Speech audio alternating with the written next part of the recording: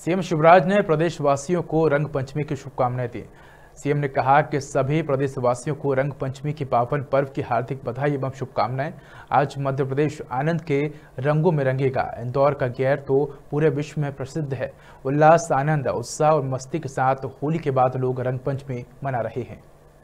मित्रों, आप सबको और प्रदेशवासियों को रंग पंचमी के पावन पर्व की हार्दिक शुभकामनाएँ।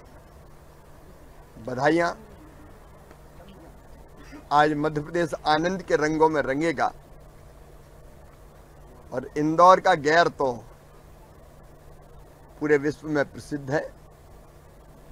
उल्लास, आनंद, उत्साह और मस्ती के साथ होली के बाद रंग पंचमी, जो रंगों का त्यौहार है, जनता मना रही है। बहुत बहुत शुभकामनाएँ।